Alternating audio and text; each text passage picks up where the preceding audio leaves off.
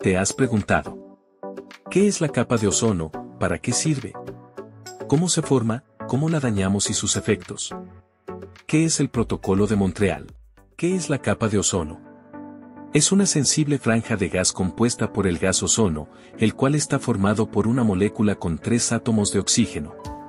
Se ubica en la atmósfera dentro de la capa llamada estratosfera, mayormente concentrada a una altura de entre 15 y 40 kilómetros sobre la superficie de la Tierra.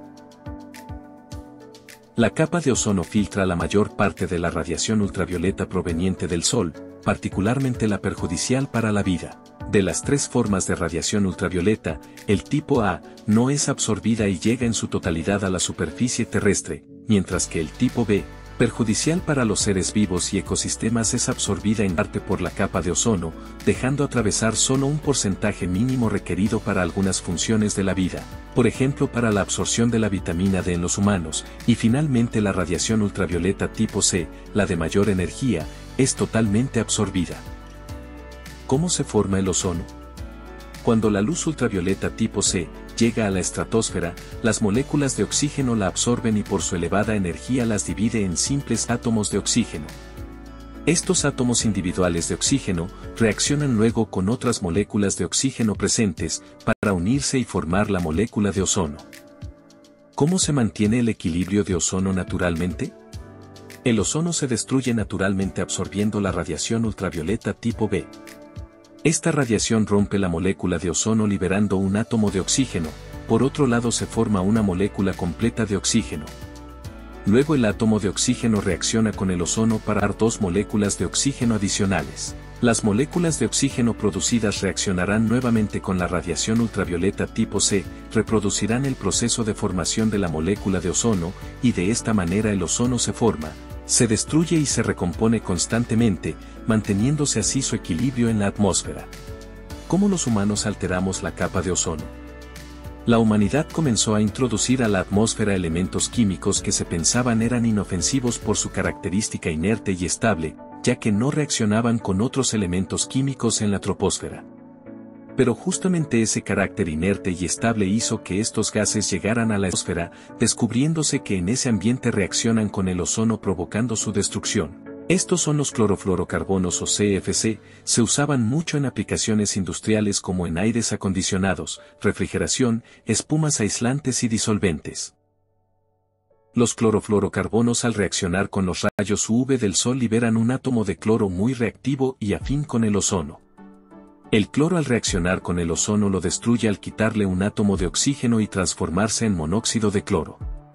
El monóxido de cloro se une a otro igual produciendo más átomos de cloro, lo que lleva a una reacción en cadena en la que cada átomo de cloro puede destruir hasta 100.000 átomos de ozono. Se rompe así el equilibrio natural de recomposición del ozono, y se va perdiendo este escudo protector tan importante para la vida.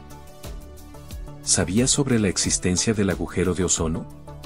Este es literalmente un agujero en la atmósfera por el debilitamiento de la capa de ozono, y que se pronuncia en el polo sur sobre la Antártida, principalmente por las condiciones meteorológicas en ese lugar, donde el aire al enfriarse desciende y circula con dirección oeste, ocasionando vientos de muy alta intensidad. Estos vientos forman un vórtice sobre el continente antártico, el cual impide literalmente la salida del aire y en consecuencia de los contaminantes, aislándolo durante todo el invierno polar hasta la llegada de la primavera. Sin la capa de ozono, todo sobre la superficie de la Tierra queda expuesto a las radiaciones nocivas del ultravioleta, en particular las de tipo B, cuyos efectos son daños al ADN que puede derivar en cáncer, principalmente de piel debilitamiento del sistema inmune, por consecuencia carencia de defensas ante virus y bacterias. Aumenta el riesgo de cánceres oculares, cataratas y quemaduras solares en el ojo. Produce daños al fitoplancton y en consecuencia al ecosistema marino, reduciendo su capacidad de absorción de dióxido de carbono, lo que contribuye al calentamiento global. De igual manera sucede con las plantas terrestres, la luz ultravioleta altera los procesos fisiológicos y de desarrollo de las plantas, perjudicando su capacidad de supervivencia, con la consecuencia de una alteración en toda la cadena trófica.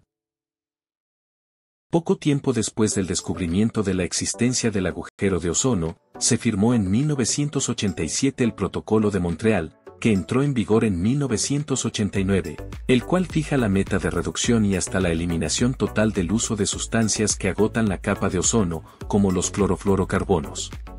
El protocolo ha sido ampliado y detallado varias veces desde entonces.